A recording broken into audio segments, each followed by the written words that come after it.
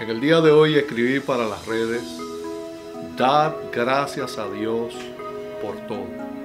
Es una costumbre del pueblo hebreo que aprendió por mandato de la palabra a dar gracias por la tierra que Dios le había dado.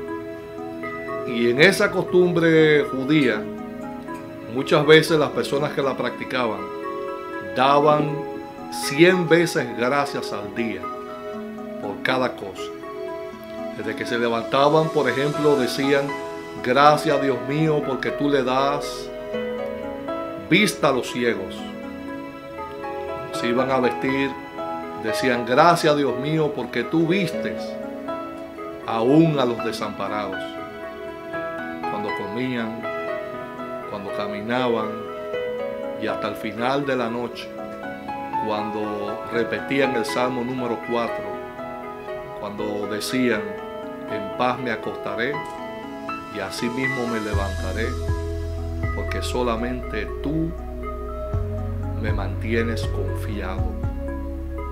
Y es que es mejor vivir dándole gracias a Dios que vivir en la queja alabanza. ¿Qué prefieres tú? ¿Queja alabanza o prefieres bendecir el nombre de Dios nos da todas las cosas?